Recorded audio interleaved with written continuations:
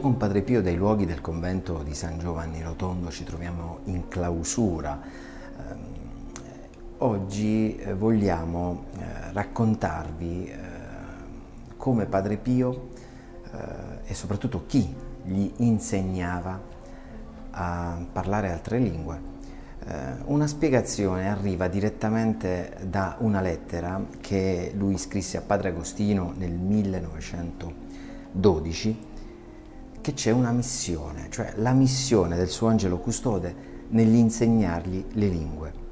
Scrive da Pietrelcino, una strana malattia lo costringeva a stare a casa, non poteva stare in convento, eh, una malattia permessa ecco, dal, dal Signore.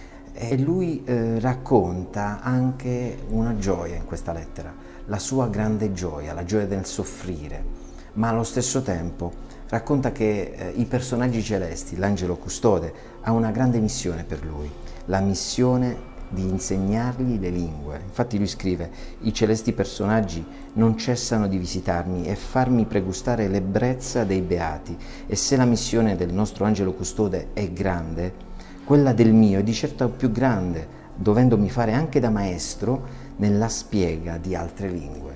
E qui eh, è proprio Padre Pio che ci spiega come mai lui conosce tutte le altre lingue. Questo è un dono che si porterà anche qui a San Giovanni Rotondo. Ma cosa nel particolare eh, scrive Padre Pio? Ecco, eh, quel cosaccio, appunto il diavolo, da vari giorni qua mi sta muovendo una guerra assai più aspra. Sarà questo l'ultimo suo assalto? Soffro e soffro assai, ma grazie al buon Gesù sento ancora un altro po' di forza.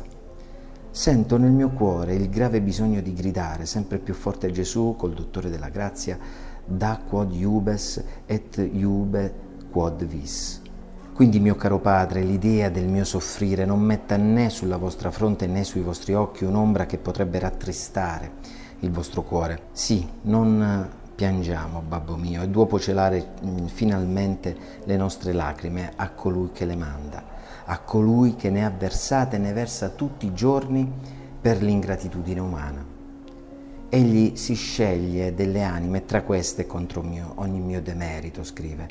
Ha scelto anche la mia per essere aiutato nel grande negozio dell'umana salvezza. E quanto più queste anime soffrono senza verun conforto, tanto più si alleggeriscono i dolori del buon Gesù.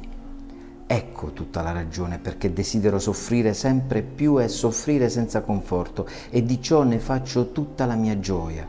Purtroppo ho bisogno del coraggio, scrive Padre Pio, ma Gesù nulla negherà.